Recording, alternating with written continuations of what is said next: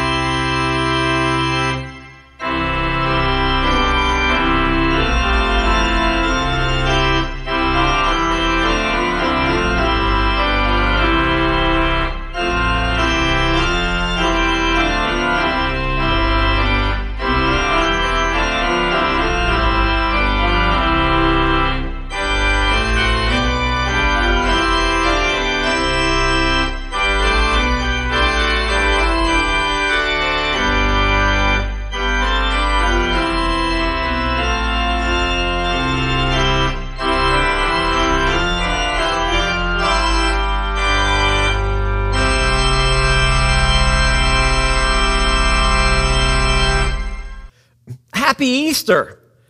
Today is the day that the Lord has risen. He has risen indeed. Welcome as we gather again to Walkersville United Methodist Church on this Easter Sunday. What a grand and glorious day it is that we come to worship our Lord. And on this day of all days, Easter Sunday, it's just great that we can come and gather uh, even in this way that we have been gathering now for, for five weeks in this very unique kind of way we've been gathering. But there's no stopping us celebrating uh, the fact that God raised Jesus from the dead. So I'm glad you're here. I'm glad you came and joined us uh, in this time of worship and this celebrating on this very special day in the, the lives of all of us who are believers. I just want to remind you to keep watching out for emails, uh, those of you in the, the congregation, for information. We will keep sending out information that needs to come out and reminders and various other things that are going on. So just keep checking your emails, uh, and hopefully, this has been a good source for you for and us to be connected in this time. Let us begin our worship with an opening prayer. Gracious Heavenly Father, we come before you this day, this Easter Sunday, to thank you for all that you have done for us, and especially for you sending your Son, Jesus Christ, to this earth. Lord, and he came with the, the understanding that he would face that cross, but that would not be the end of the story. Lord, we have gone through those uh, things of Holy Week, of Palm and Passion Sunday, and Maundy, Thursday, where Jesus and the disciples were gathered in that upper room, and uh, Judas betraying uh, Jesus and Peter denying him. And we have gone through that dark day where Jesus suffered and died on that rugged cross. And we have gone beyond that and now we are here to worship and to celebrate that you raised him from the dead. Alleluia, he is risen. Lord, we give you thanks and praise for his willingness to do that for us, for everyone who accepts uh, that sacrifice, who seeks our forgiveness of our sins from you, and that we then have the hope and the promise of eternal life. So we come today celebrating that, and we come together every time to worship and to praise you. And we bring all of these things before you in Jesus' precious and holy name. Amen. Our call to worship today is Psalm 118, verses 14 through 24. And I invite you to read this along with me. The Lord is my strength and my power. The Lord has become my salvation. There are joyous songs of victory in the tents of the righteous. The right hand of the Lord does valiantly. The right hand of the Lord is exalted. The right hand of the Lord does valiantly. I shall not die, but I shall live and recount the deeds of the Lord. The Lord has chastened me sorely, but has not given me over to death. Open to me the gates of righteousness that I may enter through them and give thanks to the Lord. This is the gate of the Lord. The righteous shall enter through it. I thank you that you have answered me and have become my salvation. The stone which the builders rejected have become the cornerstone. This is the Lord's doing. It is marvelous in our eyes. This is the day that the Lord has made. Let us rejoice and be glad in it. Amen. It's time for our children's message. So, to begin with, I want to share a, a, children's riddle or a children's rhyme that I learned as I was growing up. I don't know if it, you still do it or not, but um, I, you put your hands together like this, you, you fold your fingers in, and you pull your hands together, and um, the, the little rhyme is here is the church here is the steeple, and you see your thumbs are the doors. Open the doors, and there's all the people. So that's kind of neat. Well, then the other part of it is you put your hands together again, fold your fingers down, almost like you're getting ready to pray, and you do the same thing. Here is the church, here is the steeple, open the doors, and where's all the people? Oh no, there isn't anybody in church. Well, we know that we've been doing this for the last five weeks, and it will continue on for some time. We, at this point, we know exactly when we'll be able to gather, but the church has been empty. And uh, since we've been uh, doing these services online, Mr. John and I have been the only ones in the sanctuary. So the church is empty. But yet, in my mind, I try to imagine you sitting there in your pews. Now, that's a little difficult sometimes because since we have three services normally, there are sometimes pews that are, are being shared by different people at different times. But yet, that helps encourage me because it's otherwise it's very strange talking to an empty church. Mr. John gets to hear me, but you know, other than, than he and I, there's no one here. Now, the reason I'm talking about that is because this day, Easter Sunday, besides having the Easter Bunny stop by and visit, if, if that's your thing, and that's great, but the thing about our faith is the key thing that happened that day when the, the people went early in the morning, they saw an empty tomb. So that's a great thing because that reminded them, or they had to be told in some cases, that Jesus wasn't there because he was alive. So being empty isn't a bad thing always. And even in our times here at church, when, when the church building is empty, I know that there are a lot of you watching these uh, recordings and watching these services in your homes, wherever you may be. And so we aren't empty in that respect. We are all gathered together as one and we worship and praise the Lord. But I just thought of this little children's rhyme kind of thing, and I thought it was a neat thing to kind of make that illustration and make that point that there are times when things are empty, and, and that's okay. Now, trust me, I will be excited when we can all come together and worship again. As a matter of fact, I'm already thinking about when we're allowed to come back together, that at least here at Walkersville Church, United Methodist Church, that we will come together for one service, a unity service, and we will celebrate communion. And then we have a meal afterwards. And I think what great celebration and rejoicing that will be. We will get to see each other, be together from all of this time being apart. So I look forward to that, and hopefully you do too. And we'll give you more information on that uh, as that time comes along. But for now, we are here and we are celebrating. And so just remember again, uh, if you want to practice this, is first, this is the church, this is the steeple, open the doors, and there's all the people. And the other part is, this is the church, this is the steeple, open the doors, and where are all the people? We are the people of God, and so we are still around and, and living and doing what we can and helping others, even in these very unique times. So thanks for coming and sharing and being a part of the children's message. So, so let's do our prayer that we normally do.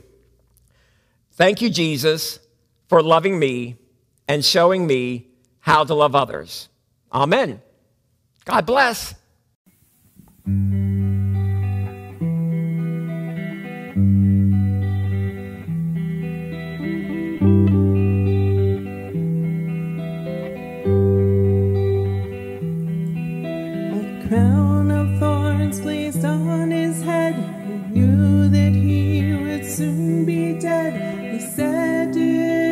forget me, Father, did you?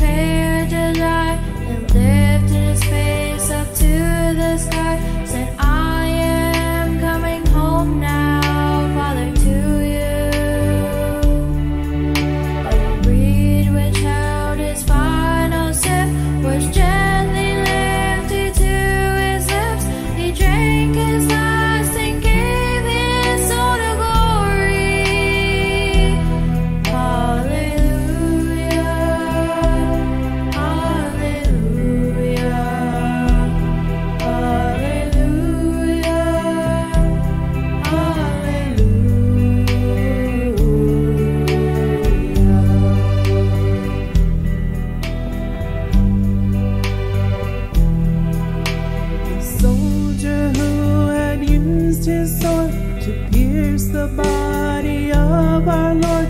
So truly, this is Jesus Christ, our Savior.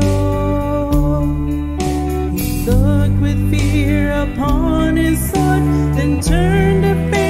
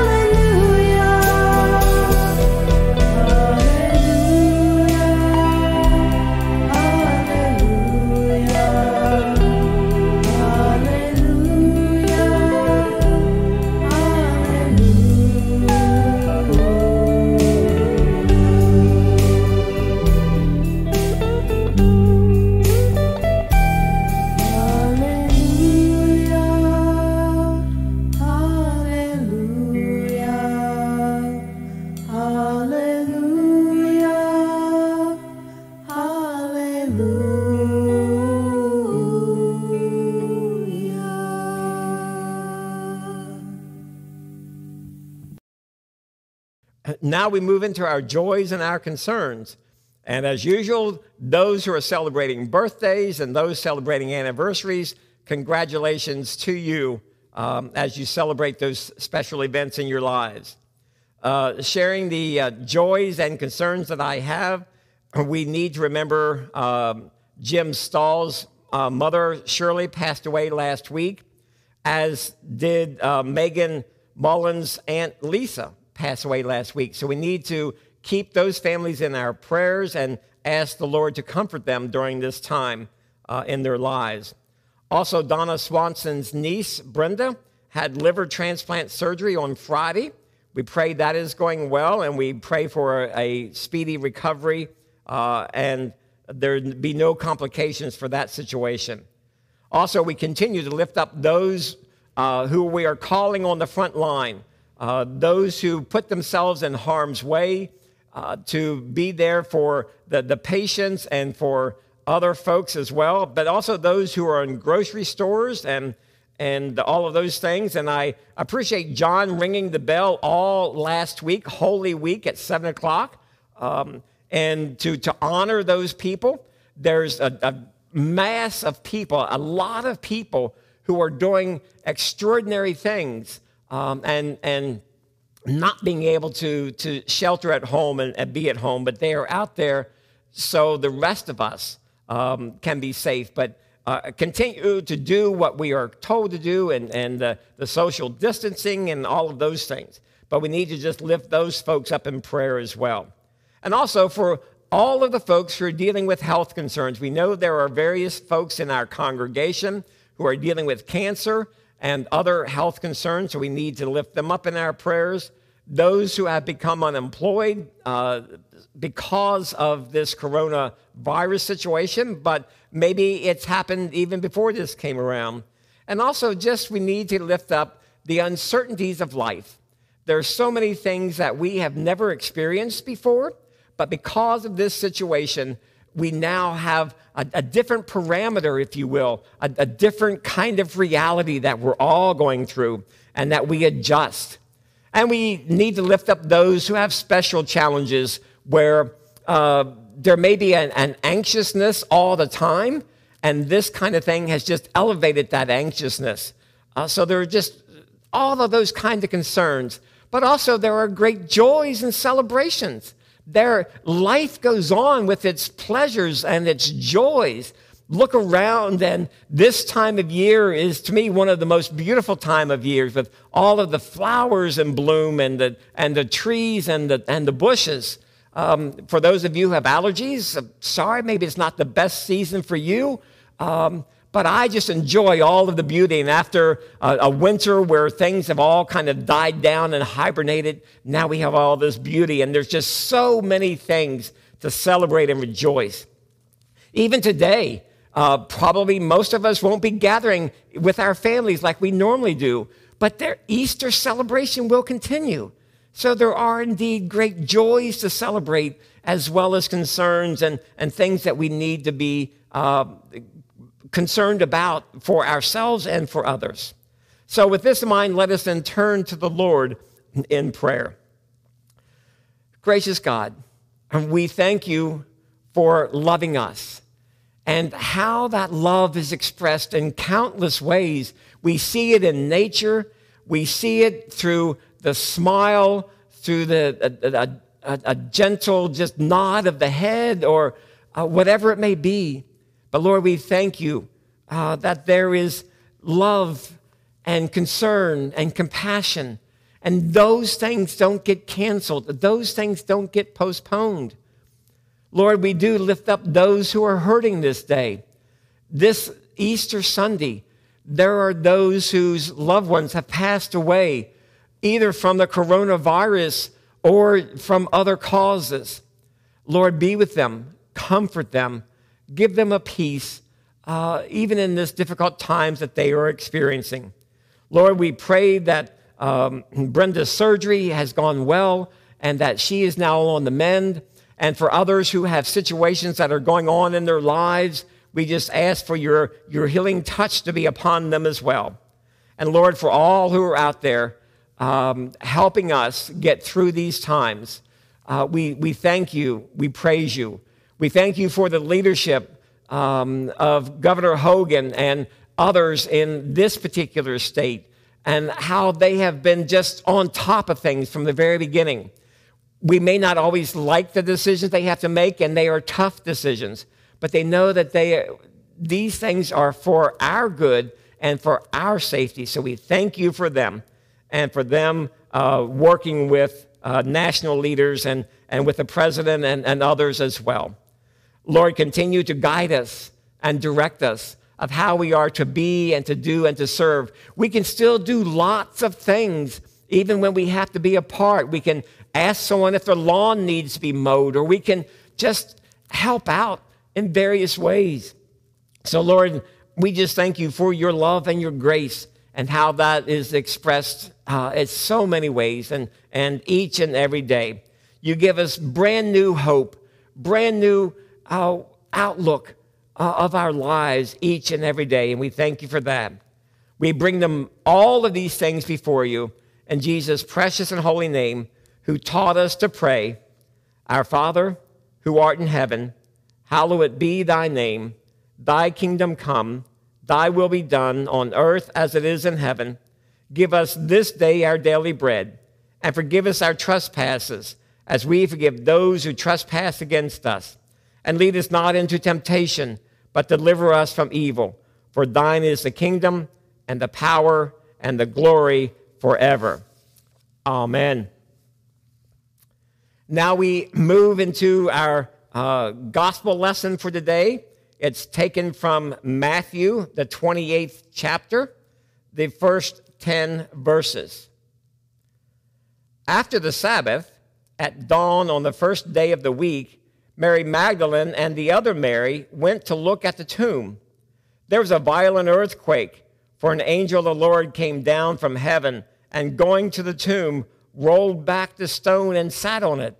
His appearance was like lightning, and his clothes were white as snow. The guards were so afraid of him that they shook and became like dead men. The angel said to the women, Do not be afraid, for I know that you are looking for Jesus, who was crucified. He is not here. He has risen, just as he said. Come and see the place where he lay. Then go quickly and tell his disciples, He has risen from the dead and is going ahead of you into Galilee. There you will see him. Now I have told you. So the women hurried away from the tomb, afraid, yet filled with joy, and ran to tell his disciples. Suddenly, Jesus met them. Greetings, he said. He came, they came to him, clasped his feet, and worshiped him. Then Jesus said to them, Do not be afraid. Go and tell my brothers to go to Galilee. There they will see me. This is the word of God for the people of God. Thanks be to God. Amen. My message today is entitled The Empty Tomb, a Glorious Sign of Easter. On that very first Easter, early in the morning, Mary Magdalene and another Mary arrived at the tomb. Now, they were going to properly take care of Jesus' body that was not able to be done because the Sabbath had come after Jesus had died. And so he was hastily put in uh, this tomb. So they came and they didn't know how they would roll the stone away that was in the entrance. But when they got to that place, they discovered that not only was the stone rolled away, but that the tomb was empty. And this was a confusing sight for them because they, Mary Magdalene and a few others, saw Joseph of Arimathea and Nicodemus lay Jesus' body in that tomb three days earlier. They witnessed Joseph rolling a big stone in front of the entrance of the tomb. So Mary Magdalene was fearful that someone had taken Jesus' body and placed it who knows where. But the question was, why would they have moved Jesus' body? Who did that? What did they do with Jesus? Now, Jesus had told the disciples and the faithful followers who followed him throughout his earthly ministry numerous times throughout his ministry that all of this would take place to fulfill scriptures. But the disciples didn't grasp what Jesus was talking about, what he meant at that, those times. But yet, early on that first Easter morning, the women were focused on one thing and one thing only, and that was to go to the tomb to prepare Jesus' body uh, properly, as was their custom. And as I said earlier, this wasn't allowed to be done on that Friday because Sabbath was quickly approaching and absolutely no work was to be allowed to be done on the Sabbath, not even preparing the body of a, a loved one for burial.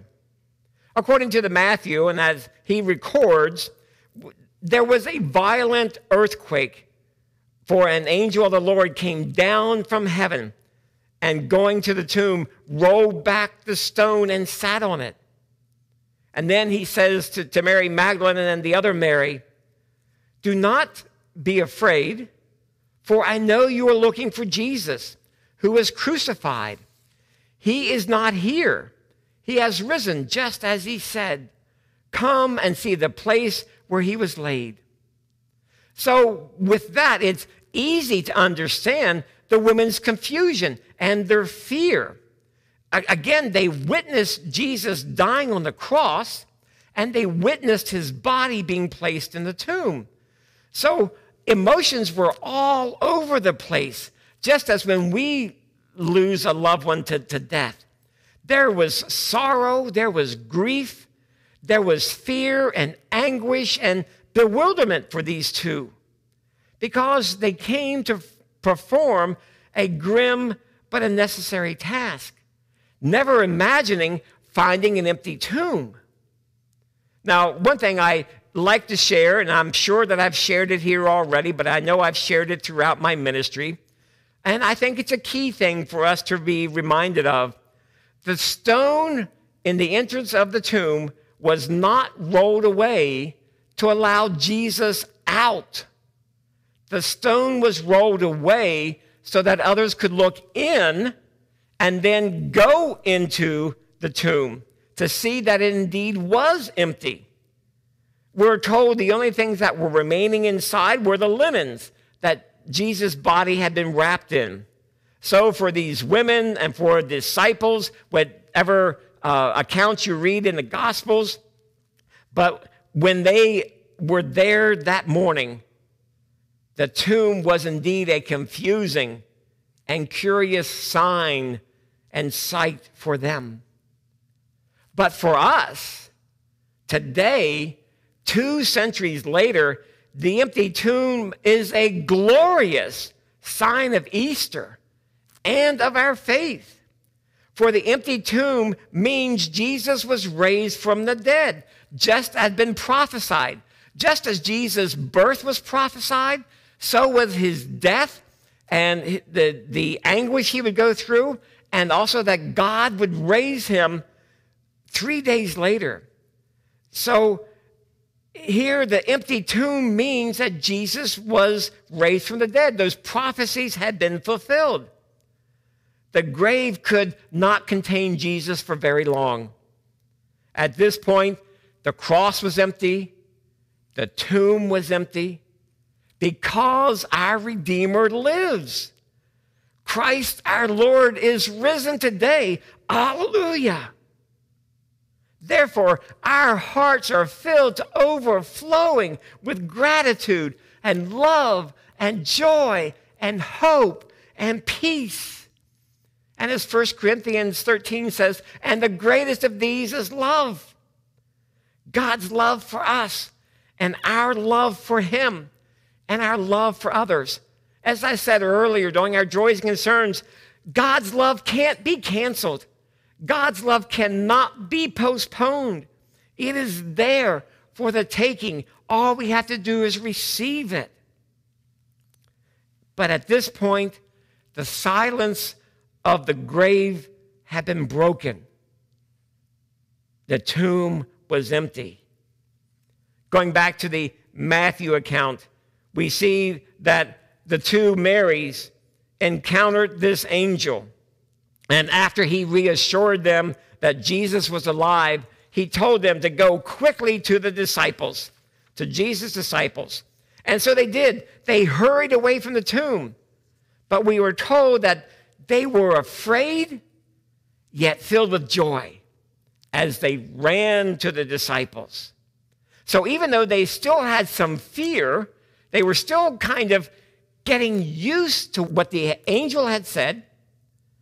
So there was still some fear, but also we are told that they were filled with joy. They couldn't wait to spread the good news that Jesus was alive. But then we're told on their way to go tell the disciples that suddenly Jesus met them and greeted them. Well, they, they fell on their knees, they clasped his feet and worshiped him. So just imagine the total elation that they were now experiencing. Here they were going to do this, this task of preparing Jesus' body. They get there, the tomb is empty. The angel talks to them, reassures them that Jesus is alive. They've gone through all of these emotions. They are excited, they are ecstatic. And then on top of that, they, at least according to this account, are the first ones to see the risen, the resurrected Jesus. That just kind of almost blows my mind to think of that uh, ex- excitement that they had to have, their sorrow, their, their confusion, their fear was turned into jubilant rejoicing and, and celebrating.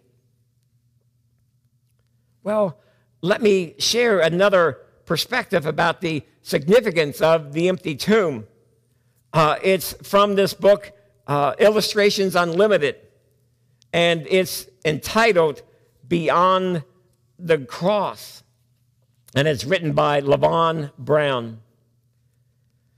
Every year, thousands of people climb a mountain in the Italian Alps, passing the stations of the cross to stand at an outdoor crucifix one tourist noticed a little trail that led beyond the cross.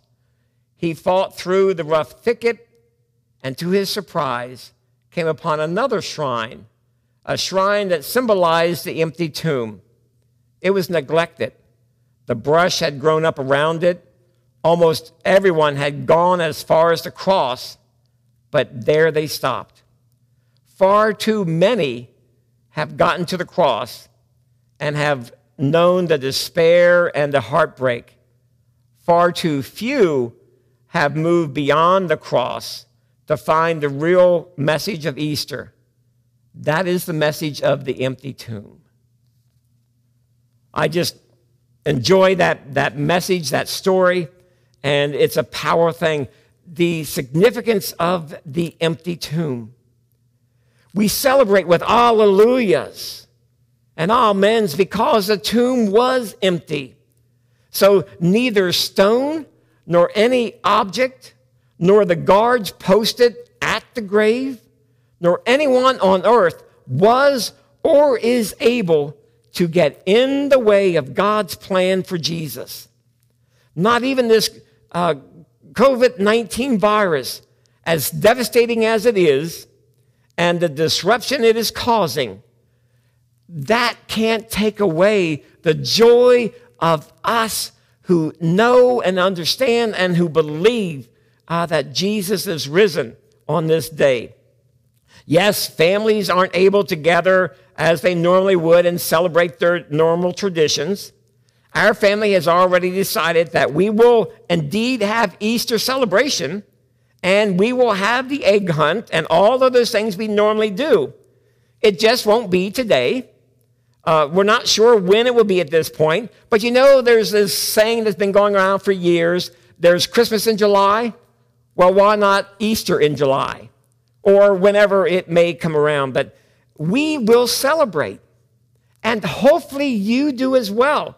We cannot do it today, but we will celebrate that uh, Easter and all that that means.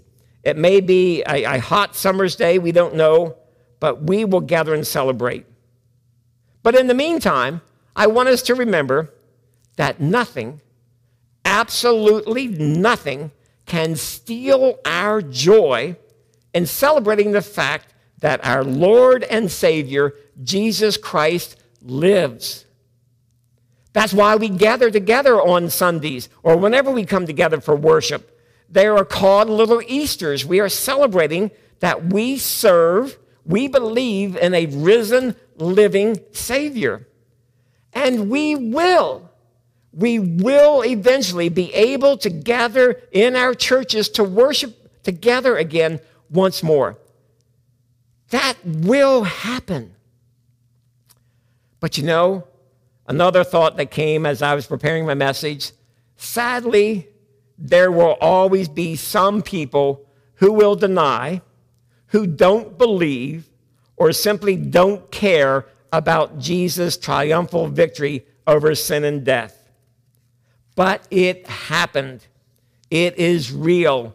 And we, it is recorded in the Bible that there were many people who witnessed Jesus alive and walking on earth until he ascended back into heaven and now is seated at the right hand of God the Father Almighty.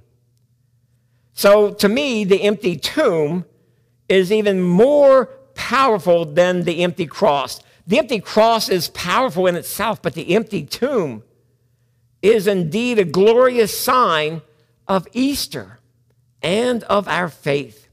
It gives a completeness, a wholeness to our Christian faith.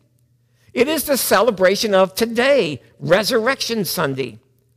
Jesus' birth was important and necessary in order for him to carry out God's will. But our faith is so much more than just two days of the year Jesus' birth and his resurrection. Last Sunday's message title was From Cheers to Jeers.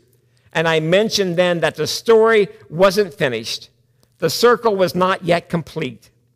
The, the cheers of Palm Sunday, Passion Sunday, we know turned into the jeers eventually of Good Friday.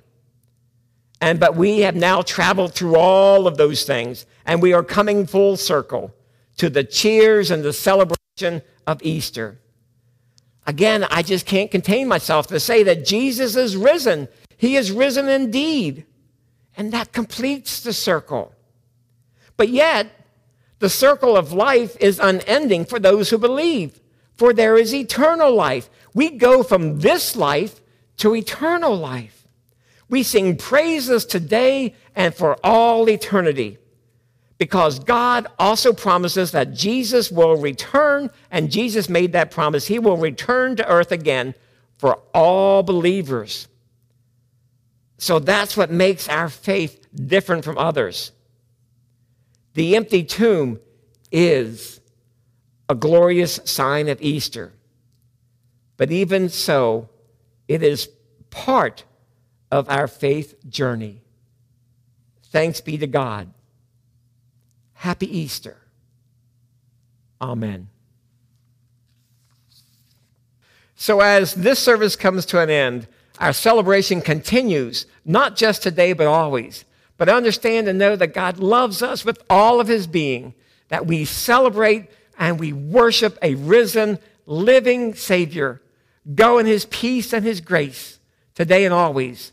Amen and amen.